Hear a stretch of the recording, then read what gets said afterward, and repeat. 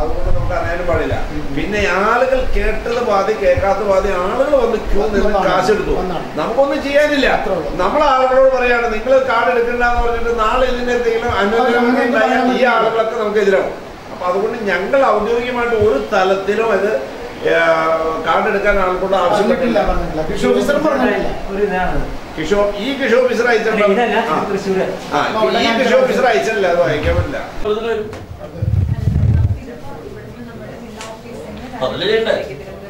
വെറുതെ സീലൊക്കെ ചെയ്ത് കൊടുക്കോ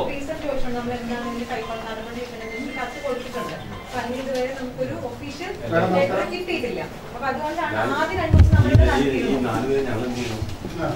അത് അതാണ് പറയുന്നത്. ഞാൻ ജില്ലാ ഓഫീസിൽ വിളിച്ചു പറയുമ്പോ ഇത്രയും നടത്തി നമ്മളുടെ ആ. ഇല്ലല്ലോന്നാണ് എന്നോട് മാഡം ചോദിച്ചത്. ജില്ലാ ഓഫീസിൽ ചോദിച്ചത്. ഇവിടുന്ന് പഞ്ചായത്ത് വഴി പരാതി കിട്ടുമെങ്കിൽ അതല്ലേ കുറച്ചുകൂടി അഭികാമ്യം എനിക്ക് പഞ്ചായത്ത് ഓഫീസർ വേണം പരാതി കൊടുക്കാനായിട്ട് ആൾക്കൂട്ടത്തിനെ കൺട്രോൾ ചെയ്യാൻ കൊടുക്കും. അത് ആൾക്കൂട്ടത്തെ കൺട്രോൾ ചെയ്യാനാണ്?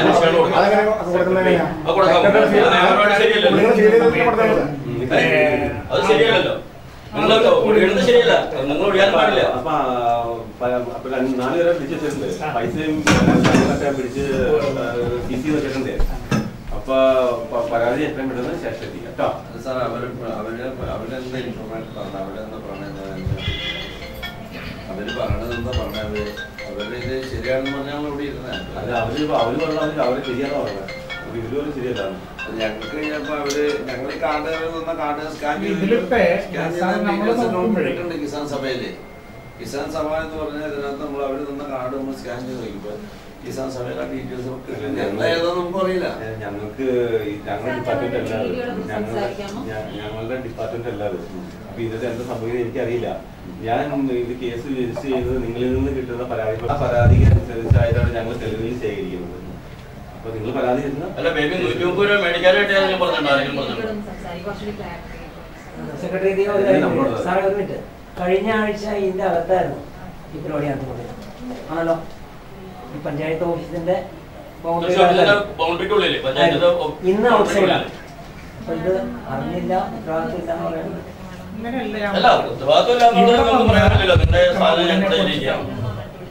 ആൾക്കൂട്ടം വന്ന സമയത്ത് അതിനെ റെഗുലേറ്റ് ചെയ്യുന്നതിന് വേണ്ടിയിട്ടാണ്. നമ്മുടെ ഫ്രണ്ട് ഓഫീസിലെ റെഗുലേറ്റ് ചെയ്യുന്നതിന് വേണ്ടിയിട്ടാണ്. സംസാരിക്കുന്നത്.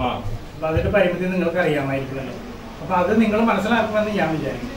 ഞാൻ വിളിച്ചു ഞാൻ ഒരു മീഡിയക്കാരും വിളിച്ചു വരുത്തിയിട്ടില്ല. ഞാൻ ഇങ്ങനെ ഒരു സംഭവം ഞാനൊരു സംഭവം അറിഞ്ഞു.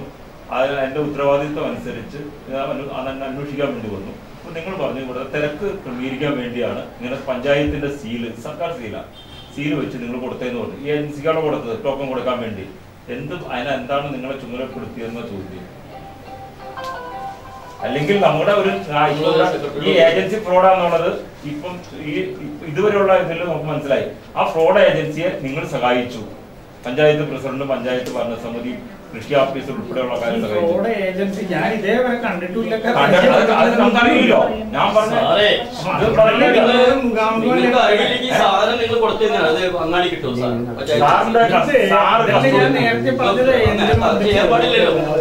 ചെയ്യാൻ പാടില്ലല്ലോ. ഇവിടെ അനധികൃതമായിട്ടൊരു ഏജൻസി നാളെ പുറമെ ഞാൻ കുറെ ആളെ വിളിച്ചു തന്നു എന്റെ ഇത് നടത്താൻ വേണ്ടിട്ട് കുറെ ആളെ വിളിച്ചു ഇവിടെ കഴിഞ്ഞാൽ നിങ്ങൾ അനുവദിക്കോ? സാറ് അനുവദിക്കോ? അനുവദിക്കാൻ പാടുണ്ടോ? ഞാൻ നാളെ ഇതുപോലെ ഒരു ഏജൻസി തട്ടിക്കൂട്ടി. എന്തെങ്കിലും ഒരു രജിസ്ട്രേഷൻ സർക്കാരിന്റെ ആണെന്ന് ഒരു മേടിക്കാറില്ല. വലിയ നിയമമൊക്കെ പറയും. സാധാരണക്കാരൻ സാധാരണക്കാരൊരു അപേക്ഷയും കൊണ്ട് വന്ന ഈ ഫ്രണ്ട് ഓഫീസിൽ ഫ്രണ്ട് ഓഫീസിലെ എല്ലാ അപേക്ഷ എല്ലാ അപേക്ഷ എന്ന് പറഞ്ഞാൽ എന്തെല്ലാം നിയമം പറയുന്നത് ഇതിനെ നിങ്ങൾ ഇത്ര സുതാര്യ ചെയ്യുന്നില്ല. ഇത് കൊടുക്കാനും ഇത്ര ഇത്ര താല്പര്യം നിങ്ങൾക്ക് എന്തിനാ? ഇത് ഞങ്ങൾ സീൽ ചെയ്തല്ല പഞ്ചായത്തെ നോക്ക് പഞ്ചായത്തിന്റെ ഫ്രണ്ടിൽ മറയ കിടപ്പുണ്ട്. പഞ്ചായത്തിന്റെ സീൽ വെച്ച പേപ്പർ മറ കിടപ്പുണ്ട്. ഇതേപോലെ എന്തെല്ലാം കാര്യത്തിൽ നിങ്ങൾ സീൽ ചെയ്തിട്ടുണ്ട് ഇവിടെ വന്നവർ മുഴുവൻ സീൽ ചെയ്ത് ഉറപ്പായിട്ടില്ലേ ഇതിനെന്ത് സെക്യൂരിറ്റി ഉണ്ട്? എന്തെങ്കിലും സെക്യൂരിറ്റി ഉണ്ട് സാർ പറ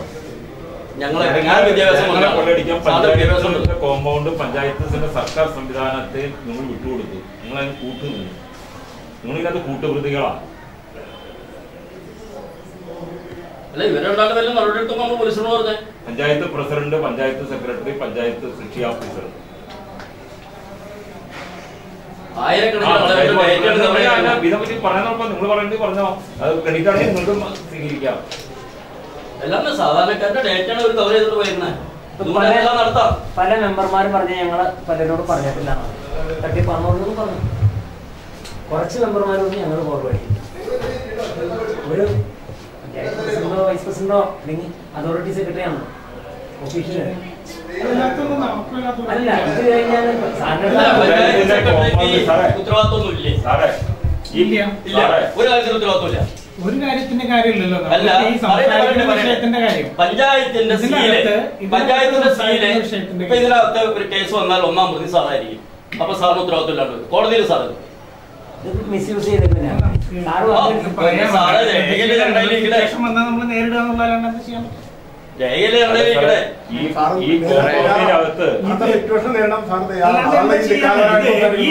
ഇന്ന് രണ്ടു മണിക്കാണ് ഇങ്ങനെ ഒരു സംഭവം ഞാൻ അറിയുന്നത് ഈ മേഡം ഒരു കത്ത് ഇവിടെ കൊണ്ടു തന്നു. ഇതേപോലെ ഒരു പരിപാടി ഇവിടെ നടക്കുന്നുണ്ടായിരുന്നു. അതുമായിട്ട് സഹകരിക്കേണ്ടതില്ല എന്ന് നിർദ്ദേശം കിട്ടിയെന്ന് മേഡം ഒരു കത്തായിട്ട് എഴുതി. ഇന്ന് ഉച്ചയ്ക്ക് രണ്ട് മണിക്ക് കൊണ്ട്. ഉച്ചയ്ക്ക് രണ്ട് മണിക്ക് പറയണ കേട്ടോ. അത് കേൾക്കും. ഉച്ചയ്ക്ക് ഉച്ചയ്ക്ക് രണ്ട് മണിക്കാണ് ഇങ്ങനെ ഒരു സാധനം കൊണ്ടുവന്ന് എന്റെ കയ്യിൽ തരുന്നത്. അപ്പോഴാണ് ഞാൻ ഇങ്ങനെ ഒരു സംഭവം തന്നെ അറിയുന്നത്. ഇതുമായി ബന്ധപ്പെട്ട ഒരു ഇഷ്യൂ ഉണ്ട് എന്ന് അറിയുന്നത് തന്നെ ഇപ്പോഴാണ്. നേരത്തെ ഇവർ വന്ന സമയത്ത് ഈ എവിടെ ആൾക്കൂട്ടത്തിന് നിന്ന സമയത്ത് പറഞ്ഞു ഇത് മുമ്പ് ചെയ്തതാണ്. അതേ ആൾക്കാർ തന്നെയാണ് ഇപ്പോൾ വീണ്ടും വന്നിട്ടുള്ളത്.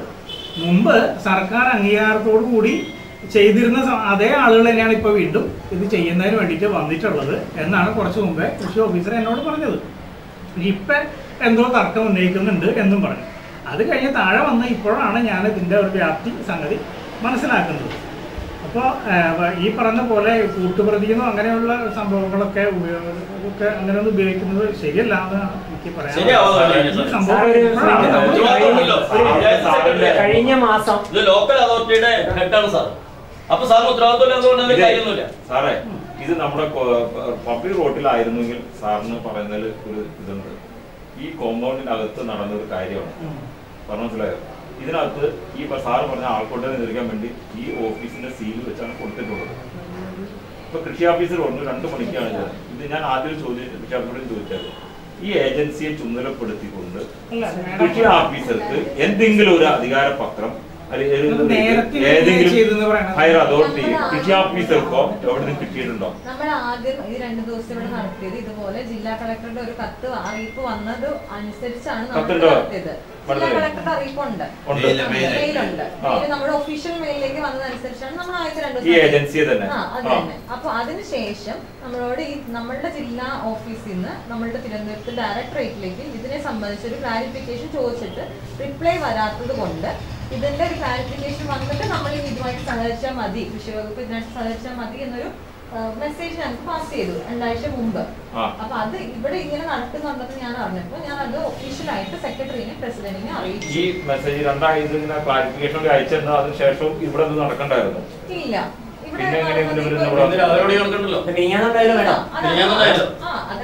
രണ്ടാഴ്ച മുമ്പ് രണ്ടാഴ്ച മുമ്പാണല്ലോ ഇത് വന്നേ.